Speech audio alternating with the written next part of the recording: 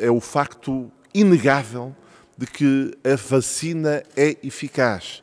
Qualquer uma das vacinas, as de geração mais recente e as, as, as iniciais, são absolutamente eficazes contra a propagação da doença, mas, sobretudo, contra a gravidade da doença e como prevenção da mortalidade associada à doença. Esta mensagem sobre a eficácia da vacina parece-me absolutamente central, até porque ela é eficaz e é absolutamente segura.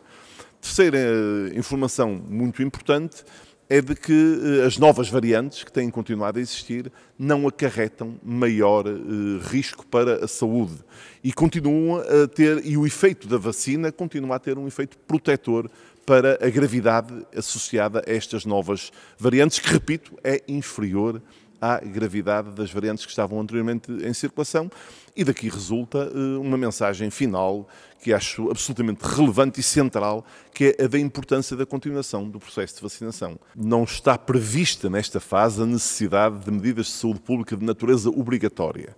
Eu diria que há algo sobre literacia em saúde que todos nós temos obrigação de ter aprendido com a pandemia. Nós, de facto, temos que lavar mais vezes as mãos.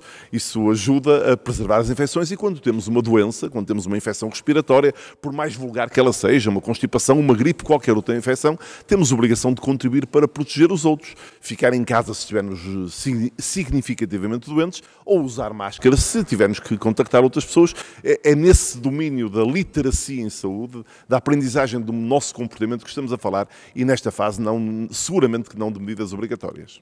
Eu chamo a atenção que nós este ano já antecipamos os processos, sabendo o que tinha acontecido no hemisfério sul, com a infecção, nomeadamente com a infecção pela gripe, nós começamos muito mais cedo que o habitual o plano de vacinação. Não é habitual começar a vacinação contra a gripe no dia, no dia 7 de setembro e, portanto, fizemos o, o que é mais relevante nós temos, eh, enfim, a, a, convicção de que iria haver alguma antecipação da, a, do aparecimento de infecções respiratórias.